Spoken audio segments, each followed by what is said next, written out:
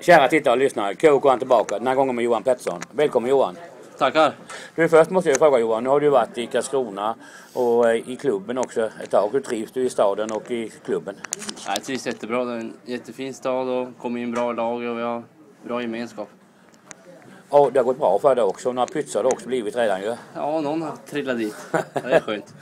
Eh, nu så kom vi med förlust i bagaget. Ja, Visserligen så hade en straff har ju alltid tillfälligheter men överlag tycker jag vi gör en bra match men vi krigar kanske vid fel tidpunkter på banan. Eller vi, förstår du hur jag menar? ja jag skulle vilja säga att vi, jag tycker ändå vi gör som du säger en bra match fast det är vissa stunder under matchen som vi går neråt lite för mycket. Lite för djupa dalar kan man väl säga. Men annars tycker jag ändå vi gör en bra match. Eh, Mörrum väntar ju på söndag. Ja. Det är, ja, där har Kevin då en fråga. Vad ska ni göra för att vinna över dem? Eh, vi ska jobba hårdare än dem och så ska vi vinna kampen. Det kommer vara ett heltaggat lag som kommer ut på banan. Absolut. Du Johan, önskar dig och laget stort lycka till. Tack så mycket. Och glöm inte, you never walk alone för Det är vi som är KHK.